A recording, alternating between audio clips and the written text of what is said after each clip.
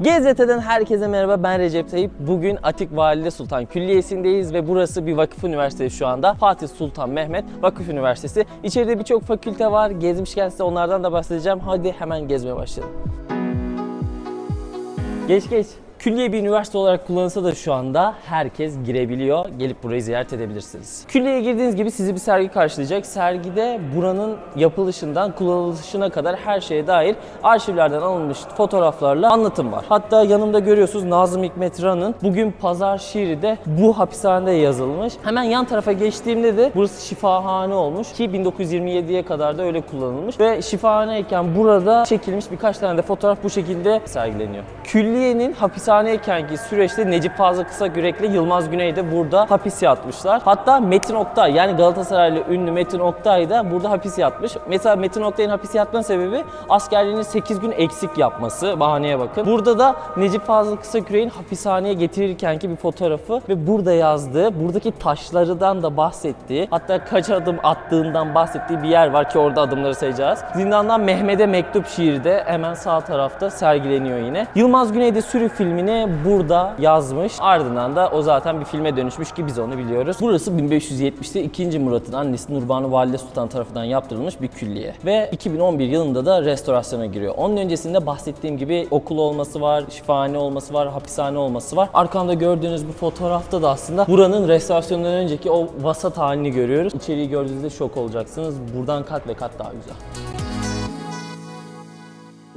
Okulun içerisine girdik. Burası külliyenin ana avlusu ve etrafta tercih dönemi olduğu için masalar var. Burada bulunan fakültelerin de bayrakları var. Ambalaj tasarımı diye bir şey gördüm. Yani bu ne demek bilmiyorum. Keşke bilen biri onu bana anlatsa. Hemen anlatalım. Ambalaj tasarım bölümümüz 2 yıllık bir bölüm. Ambalaj nedir? Ambalajın önemi bir üründe nedir? Bunlar işlenerek 2 yıllık bölümden mezun oluyorsunuz. Aslında dijital dünyadan dolayı da artık grafik tasarımında iş imkanları çok fazla olmaya başladı. Bu bölümden de mezun olduğunuzda matbaalarda ve ajanslarda çalışabilirsiniz. Vay be ambalaj tasarımı da böyle bir şeymiş. O zaman gezmeye devam edelim.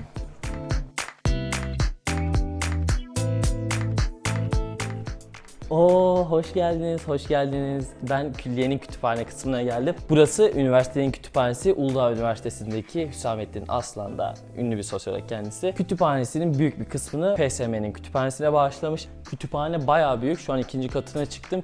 Hüsamettin hocamızın odasını görmek için. Çünkü Hüsamettin hoca masasına kadar kütüphaneye bağışlamış.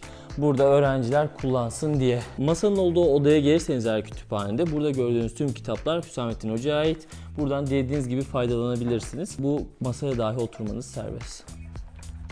Bu arada buranın hapishane olduğu dönemde Hababama sınıfının yazarı Rıfat Ilgaz da burada yatmış. Şimdi onun kitaplarını yerleştirelim. Ve Suriyelilerin çoğu burada var. Gelip burayı ziyaret ettiğinizde bunlara da bakabilirsiniz. Nihayet. FSM grafik tasarım mezunuyum. Okuldan mezun olur olmaz okulda yaptığım işlerimden bir portfolyo hazırladım. Sonrasında GZT'ye başvurdum ve işe alındım direkt. Böyle bir fırsatım oldu. Grafik tasarım bölümü kadrosu çok güçlü. Genelde piyasada çalışan hocalarımız var. Onlardan ders alma imkanımız oluyor. Ve bunun da bana büyük bir katkısı oldu. Şu anda da yaptığım işe büyük bir etkisi var. Grafik alanında iyi işler yapmak isteyenlere bölümümü öneriyorum. Şimdi burada kapalı bir kapı var. Okula geldiğimde dediler ki hiçbir kapı kilitli değil. Ama bura bayağı bildiğin gizli saklı bir yer. Bir gireceğim. Şakasız bu arada. Ciddi. Oo. Burası yapının sanıyorum banyosu, hamamı. Çünkü baksanıza aynı Neil Mekan Selimiye'ye benziyor. Aşağısı falan da henüz bitmemiş ama bak burayı size özel gösteriyorum. Acaba okulda öğrenciler burayı ne olarak kullanacaklar merak ettim. Okulun avlularından birisine geldik. Burası da size en başta gösterdiğim bir fotoğraf vardı şifahaneli. Böyle hastalar avludaydı. Yukarıda da demir parmaklıklar vardı. Bakın burada o parmaklıklar kaldırılmış. Yerlerine camlar koyulmuş. Yani onun dışında hiçbir değişiklik yok aslına bakarsanız. Demir parmaklıklar neden kaldırıldı diye sorduğumda da Çok fazla soğuk oluyordu ve ısı sorunu vardı. Öğrencilerin talebiyle restorasyon sonrası onlar kaldırıldı. Yani bu yüzden buralar cam olmuş. Fatih Sultan Mehmet Üniversitesi de demek ki öğrencilerimizi seven bir üniversite. Kedileri ne kadar sevdiğimi bilirsiniz. Bakın burada da yüksek lisans öğrencilerinin eğitim aldığı bölümde kedi evleri falan var. Ama asıl ilginç olan burada bir tane küvet var. Hamam gibi bir şey ama ne olduğunu hala anlayamadım. Aslında burayla ilgili hepimiz buradaki arkadaşlar olarak bir çıkarımda bulunduk. Belki burada bir çeşme olabilir. Su sesiyle bir tedavi yapılabiliyor olabilir. Ve üniversite burayı kedilere komple tahsis etmiş. Her yer kedi maması, su kabı falan. Öyle. Güzel yer. Yüksek lisans okursanız böyle bir yerde okuyorsunuz. Ha bu arada su ile tedavinin Osmanlı'daki önemini tarih editörümüz Beyza Kirişçi'den bir dinleyelim. Selçuklu ve Osmanlı dönemlerinde su, müzik ve gül kokusuyla tedavi yöntemleri çok yaygındı. Özellikle akıl hastaları bu şekilde tedavi edilirdi.